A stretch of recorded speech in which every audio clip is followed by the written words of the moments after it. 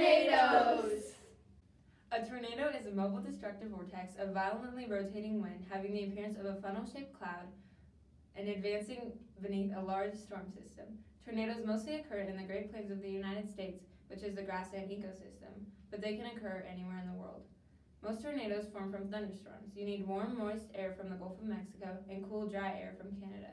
When these two air masses meet, they create instability in the atmosphere. Most strong and violent tornadoes form within this area of strong rotation. Tornadoes are most common in spring during tornado season. Tornado season, when most tornadoes occur in mid-America, is from March to June. The United States records over a thousand tornadoes each year. Tornadoes are classified from an F0 to an F5, F5 being the most dangerous. An F0 causes little damage and has winds ranging from 40 to 72 miles per hour.